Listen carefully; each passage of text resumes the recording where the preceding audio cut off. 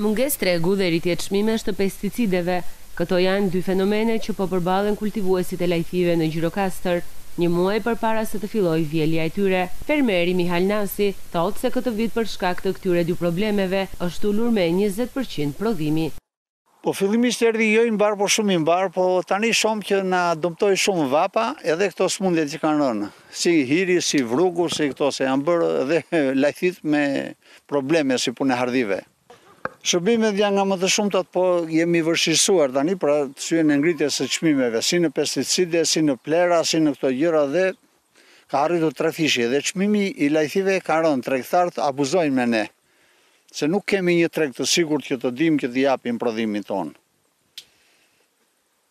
Prodhimin e vjetshëm e keni shitur? Jo të tërë, jo të tërë. Mos them gjysmën e prodhimit, po ma tash kur të vijnë tregtarët, çfarë çmimi do na vënë, sido, se sivjet ka dhe prodhim shumë dhe ka rrezik që ata ta ulin. Gjitha çmimet e tjera ngrihen, çmimet tona të lajthisë ulen.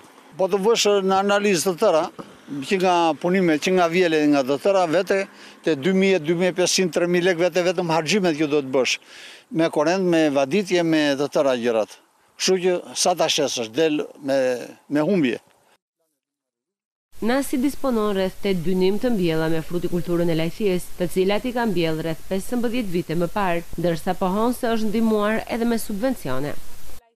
Po këtu kam tetë dynymë edhe kam rreth një mijë e njëqind e ca rrënjë lajthi që janë në prodhim. Janë mbjellë që në dy mijë e tetën. U bëjmë të tëra shërbimet.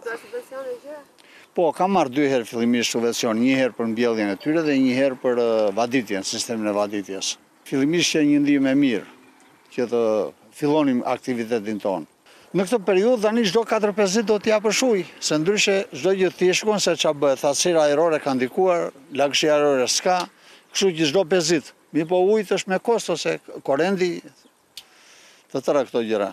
Fillimisht na duk si e lehtë, po është shumë e lodhshme, për arsye se janë shtuar shumë sëmundjet e këto gjërat.